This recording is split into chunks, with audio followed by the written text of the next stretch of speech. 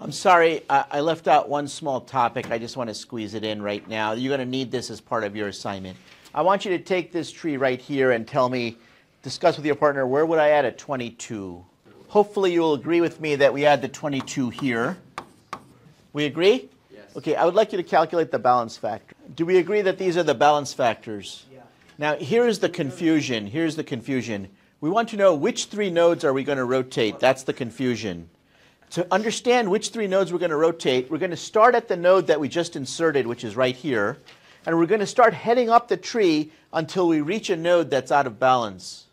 So you can see we get here, we're okay, we get here, we're okay, we get here, we're okay, we get here, we're out of balance. Which three nodes are our rotation nodes? Is it these three, or is it some other set? Can you see that if this is the node that's out of balance, that that node needs to be rotated? So it brings it back into balance, right?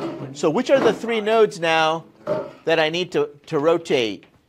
Mr. Mulcahy, which are the three, sir? Yes, it's these three nodes that need to be rotated. So therefore, what kind of rotation am I going to do? I'm going to do an RL rotation, RL rotation. You see that, right? So we start with where we inserted, then we start heading up the tree till we find a problem, and then we take the three nodes that start at where the, the problem is and work our way down to the direction that we inserted. So here it will be these three nodes that we need to do the rotation on. And if you're not sure how to rotate these three nodes, you can look at my example on the board there to see what you need to do. So now you're going to need this as you work your tree example that I gave you earlier. I would like you I would like you to create an AVL tree and process this set of keys. And I'd like you to have the head of the queue here and the tail here. So we're going to insert these elements from left to right like you read a book. So this will end up being the initial root of the tree. Of course, the root's going to change around as you do your rotations. But see if you can figure out what the final tree will look like. And here, here's what I want you to do. On your paper, you're going to need more than one piece of paper for this. Why? You're going to keep adding stuff, and I want, as you insert the new elements, the tree will fall out of balance. You'll need to rotate it to bring it back into balance. And I want you to show me every step along the way so that you've basically got a history of all the rotations that you've done on the tree. All right, let's step through this one example, which will be similar to what your quiz will be like next class.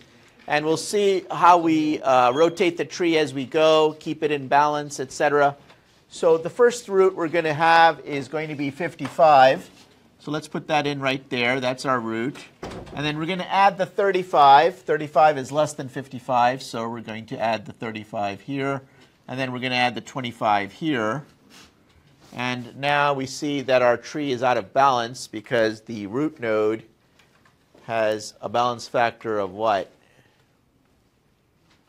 2. So we can see that it's left heavy, so we're going to need to do an LL rotation. So we're going to have to rotate it this way. And so after we're done with that rotation, it's going to look like that. So we're done with this one, this one, and this one. And now we're going to add the 40. Where is the 40 going to end up, Mr. Afsari? Left child of 55. So the 40 is going to end up over here.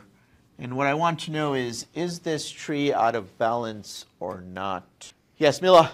It is not. So we're going to keep going here. So next we're going to add the 45. So let's add the 45. Where does the 45 end up on this tree here? Mr. Nikita? When we add new nodes to a binary search tree, they always become leaves of the new tree. That's an important property of binary search trees. And what I want to know now is, is our tree still balanced? It is not. What is the node that is out of balance, Mila? Okay, let's calculate all the balance factors here. So this one is 0. We need to restore balance here. Well, you say, well, what about this node? When we restore balance here, this node will get fixed. Why these nodes? Because we insert it here, and we go up the tree until we find the first node that's out of balance. That's this node right here. So now we need to do a balance of these three nodes. So we need to do an LR, an LR balance. So what will the tree look like now after we're finished. I think the 35 will stay here and the 25 will stay there.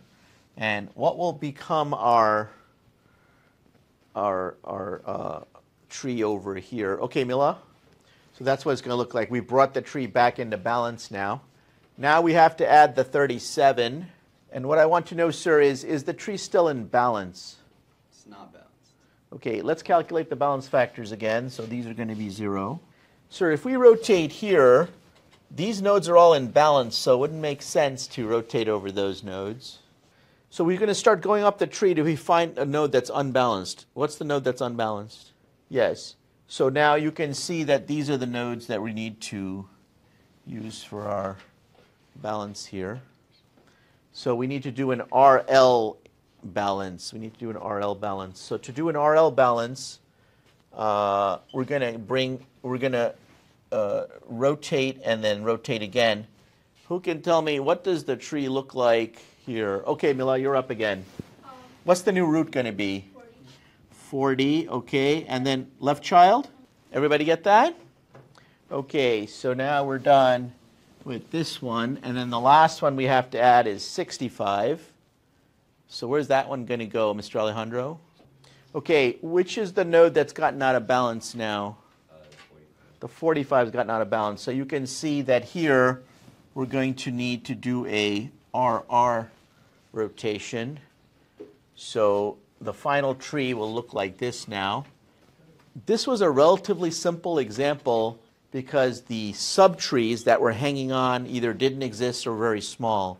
Try to understand that that gives the most generic case on the board there where you have a full subtree getting in the way. And you want to make sure you understand what happens to those subtrees for the quiz that's coming on Wednesday. Anybody have any questions about what do you think about AVL trees? I think they're pretty. Cool. And the thing that's nice about them versus the red black is like you look at red black, you're like, what the hell is going on? You just can't figure out what's going on. Here it's extremely visual. You can see as soon as it gets out of balance, even slightly, we bring it back. By the way, the reason, I'll take your question in a second, the reason why people prefer red black trees is that red black trees don't really balance the tree at, even at the slightest imbalance. They kind of only rebalance it when it's absolutely necessary. And as a result of that, you have to do far fewer rotations. So it's less computationally intensive, it's faster.